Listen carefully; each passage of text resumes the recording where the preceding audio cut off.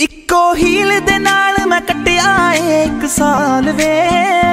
ਮੈਨੂੰ ਕਦੇ ਤਾਂ ਲੈ ਜਿਆ ਕਰ ਤੂੰ ਸ਼ਾਪਿੰਗ ਮਾਲ ਵੇ। ਮੇਰੇ ਨਾਲ ਦੀਆਂ ਸਭ ਪਾਲਰ ਸਜਦੀਆਂ ਰਹਿੰਦੀਆਂ।